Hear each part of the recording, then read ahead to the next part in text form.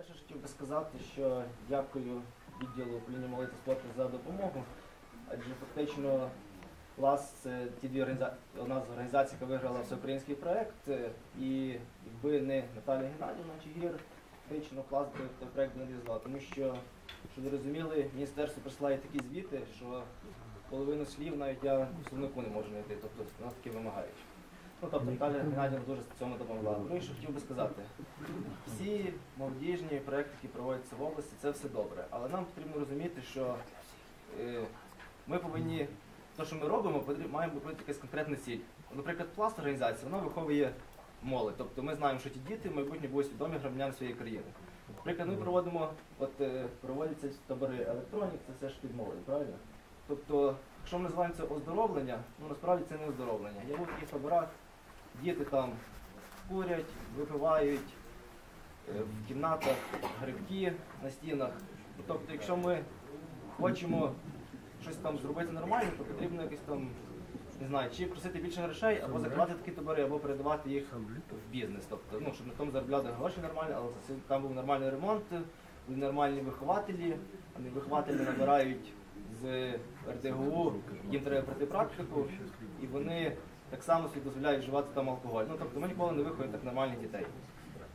І ще би що хотів сказати, що в управлінні молоді та спорту потрібно більше виходити назовні, потрібно більше підлаштовуватись під сучасність. Тобто сторінки в Фейсбуці, якось е, більше е, показувати молоді, що ви робите. Тому що я заходжу на сайт управління молоді та спорту, ну вибачте, він ну, там щось зрозуміти, там є вся інформація, але там щось знайти, він не читабельний той сайт. Тобто, не знаю, якось чи переробити, чи ще щось. Так само, е, що я вже говорю, сторінки в Фейсбуці. Фейсбук це активна молодь, це сидить в Фейсбуці, там, ну, в соціальних мережах. Потрібно це все викидати назовні. Якщо ви там будете якісь акції показувати, я певний, що більше молоді буде долучатися, більше молоді буде цікавитись.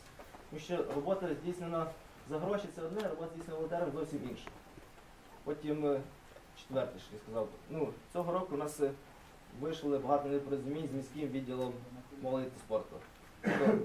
Хочу ще раз нагадати, що я волонтер і так само більше громадська організація волонтери. Ми не працюємо за гроші, ми не працюємо за якісь там гонорари. Тобто, ну, не можна дзвонити до волонтерів і казати, ви маєте прийти в третю годину принести те-то-те-то. Ну, так не може бути, тому що в мене є своя робота, я за щось так само маю жити, кормити свою сім'ю і так само далі. Е, Ну, зрештою, я сподіваюся, що 2015 рік після тих всіх подій в Україні стане якби, рушійним і колегії молоді та спорту так само бажаю, щоб ви залучали більше громадських активістів, тому що громадські активісти це ті люди, які готові сприяти і допомагати. Так само буде корисним громадським активістам вчитися вашого досвіду і перейняти це в свої громадські організації. Що, дякую, якщо маєте якісь питання. Дякую, Сергій. Ми твою пропозицію обов'язково врахуємо в проєкті рішення, особливо стосовно ну, пропагування своєї роботи подальшого. Дякую.